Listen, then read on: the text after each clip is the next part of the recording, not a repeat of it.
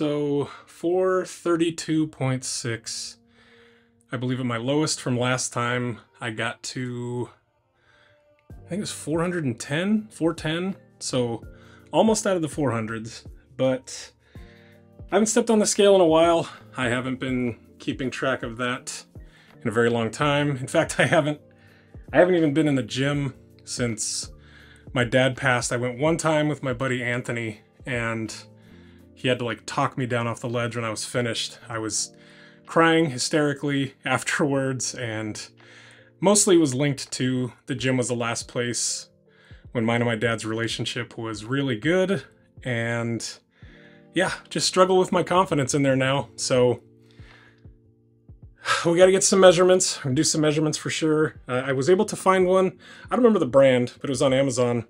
Pretty stoked. It should be big enough to actually uh, get all of my measurements. So starting weight, starting measurements, starting all over again. But we're back and making some strides. So I'll get some measurements posted and show you guys where I'm at with that. And that way we can better track and keep progress of how things are going. Obviously the number on the scale doesn't tell the whole story, so I just want to track this as best I can. So let's get some numbers.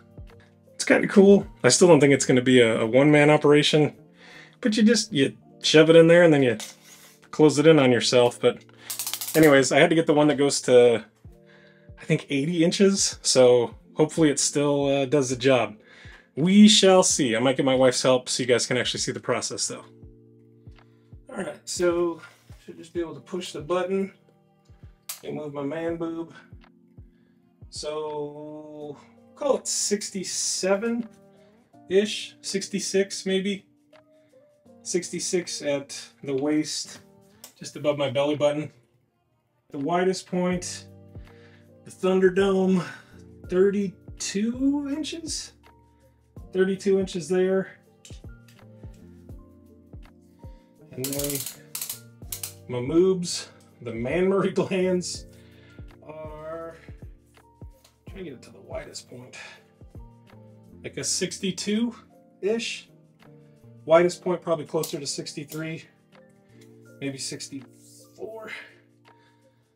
Another one I wanted to check was my neck. Oh, this feeds in there backwards, but let's see. Let's see what we got. 22 and a half. So four, I think it was 436, 22 for the neck. Just uh, starting weight, starting measurement, starting all over again. So I gotta be honest, it's it's not as bad as I thought it was going to be. I've been off track for quite a few months now, and things got a lot worse after my dad died. So I've been I've been using food a lot to cope and to process those things.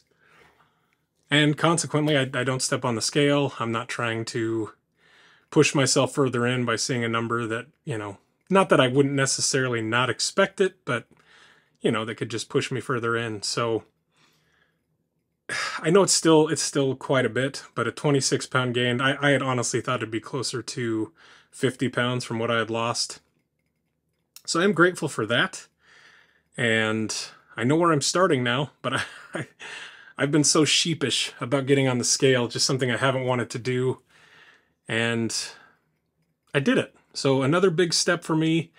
And for me, this is always the hardest part. You know, you just kind of got to get over that obstacle and get back on the scale, get your measurements, and so you know where you're starting. So as challenging as it was, I'm glad to be over the obstacle and know where I'm starting from and ready to start making some some changes. So yeah, thanks for continuing to tune in. So more details to come.